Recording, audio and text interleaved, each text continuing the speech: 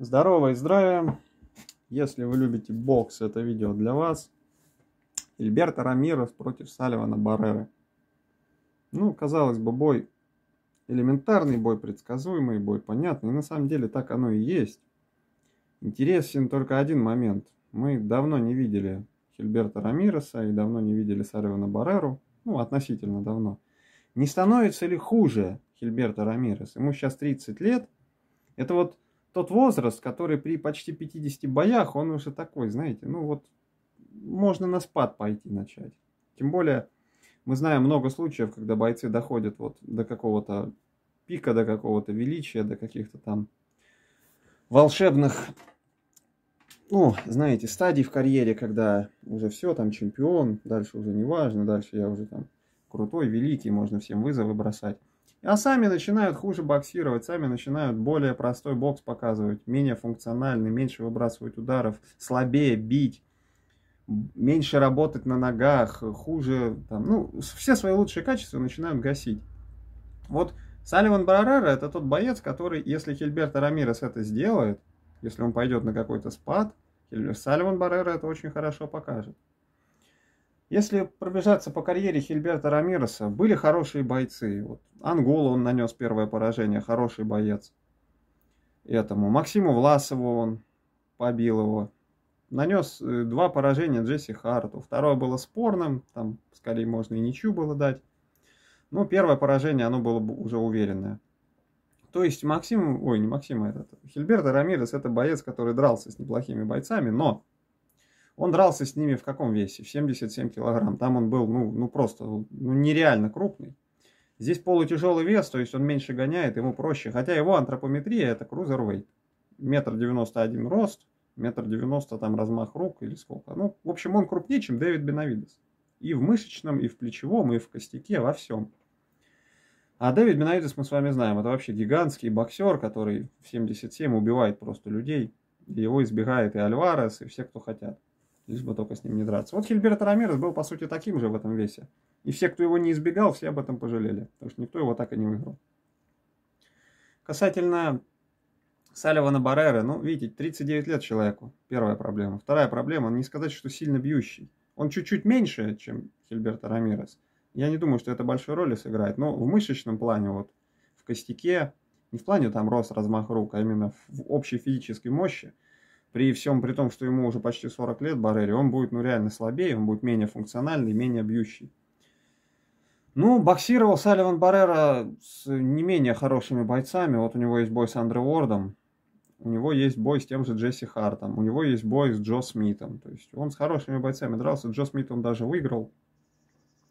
Но видите, о чем разговор. Джесси Харта Рамирес побил два раза, сидя не в своем весе. Сейчас он в своем весе, ну, в своем, его вес крузервейт.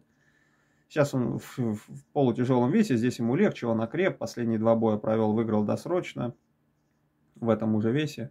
Последний бой он выиграл в десятом, кажется, раунде американца. Тоже уже не молодого, но не пробитого. Но он смог его досрочить. Хотя там он отработал, Хильберто Рамирес, мне не очень понравилось. Он много стоял, много позволял себя бить, позволял где-то себя поставить на канаты. Но это была такая тактика, знаете, 4 раунда дал более старому сопернику вымахаться, а потом пошел в прессинг, потом пошел разбивать, потом пошел в мексиканскую рубку, потом пошел просто нагло пользоваться тем, что он мощнее, больше, что у него крепче голова, что он функциональней. Просто начал забивать, загонять, забивать, загонять. Никакой особой техники Сильвестр Рамирес не показывал. Неплохо работал вторым номером с блоком. Посмотрел его тренировки, он начинает набивать блок. То есть этот боец, мне кажется, уже потихоньку понимает, что в полутяжелом весе ребята бьют посильней. Голову он уже так легко свою не защитит. И надо начинать работать от блока, нужно меньше пропускать по голове. Я думаю, если именно это его план, то он Салливана Барреру, конечно, удосрочит. Потому что когда соперник много бьет в блок, никакого эффекта по противнику нету. Он не устает, у него не набивается тонаж. Он вообще ничего не чувствует. Вы тратите силы, а он ничего. И когда Рамирес поймет, что я не потратил ничего, а соперник подустал, Просто прибавить темпа, начать сильнее бить, чуть-чуть где-то здоровье оставить, и обязательно будет удосрочен. В 12-раундовом бою Салливан Баррера. И я думаю, это и есть план Рамиреса. Поэтому я верю, конечно, в победу Рамиреса, в уверенную, безоговорочную, там, с нокаутами, с нокдаунами, не знаю как. Но никаких спорных боев я здесь не жду. Но, но, если Рамирес все-таки вот эти все тренировки, его последний его бой, если все это обманчиво, если он выйдет, знаете, ай, ну, соперник проходной, легко его побью, тогда Баррера устроит ему конкурентный бой. Тогда Баррера на дистанции много будет попадать, много будет двигаться, много будет клинчевать. Знаете, как может получиться? Вот как в бою Кастания против Лары. Лара был еще, ну, конечно, Баррера хуже Лары, намного. Хотя манера такая же. И Лара был в более хорошей форме, чем сейчас Баррера, и более молодой. Он был с Кастани, 35 ему было, а не 39. Но Кастани, конечно, на спад в том бою не пошел, он показал максимум, но и Лара показал максимум, получился конкурентный бой. Здесь видите как, если Рамирес покажет максимум, конкурентного боя не будет. Но если он покажет не максимум, Баррера конкурентный бой создаст и даже может проиграть по очкам. То, что он проиграет, это, конечно, 100%. Они вытащат этого Рамиреса любой ценой, потому что ему уже готовят бой с Биволом. Они хотят использовать нашего Димку как, знаете, такой, э, такой предмет, который носит пояс, который можно отдать Рамиресу. А Рамирес с поясом это уже звезда, из него можно раскрутить. Ну, сами подумайте, 50 побед, там, мексиканец, ни одного поражения, чемпион мира в двух весах. Это ого, это и с Альваресом, и с кем хотите можно делать бои и деньги. Вот и все. Поэтому, ну, конечно, победа Хильберта Рамиреса.